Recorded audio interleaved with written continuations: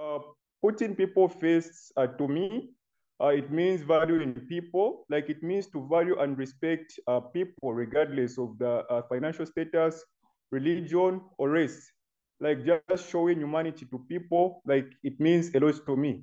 So when we talk about uh, human rights, it's also important to put human rights first. So put people first, it means to, to, to, to, respect people and to put Uh, human uh, rights uh, first and also participate in projects that contribute to having a better and healthier future.